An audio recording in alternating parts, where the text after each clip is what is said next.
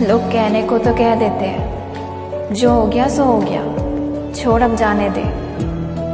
लेकिन सच तो यही होता है यार, कि जिसे खुद से ज़्यादा प्यार किया हो, उसे पल भर में भूल जाना आसान नहीं होता।